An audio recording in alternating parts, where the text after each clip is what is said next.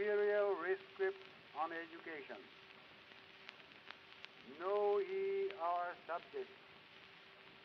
Our imperial ancestors have founded our empire on a basis broad and everlasting, and have deeply and firmly implanted virtue.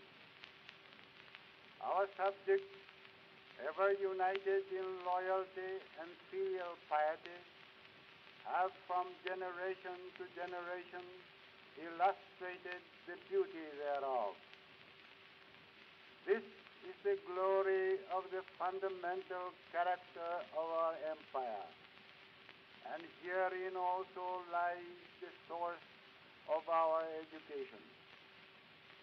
Be our subjects, be filial to your parents, affectionate to your brothers and sisters, as husbands and wives be harmonious, as friends true. Bear yourselves in modesty and moderation. Extend your benevolence to all.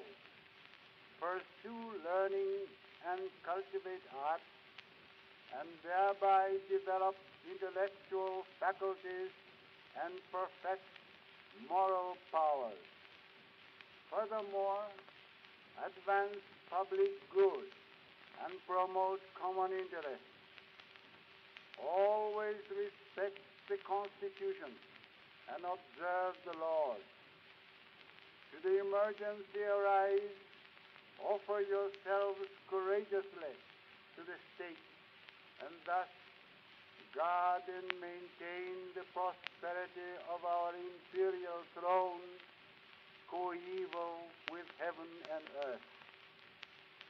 So shall he not only be our good and faithful subjects, but render illustrious the best traditions of your forefathers.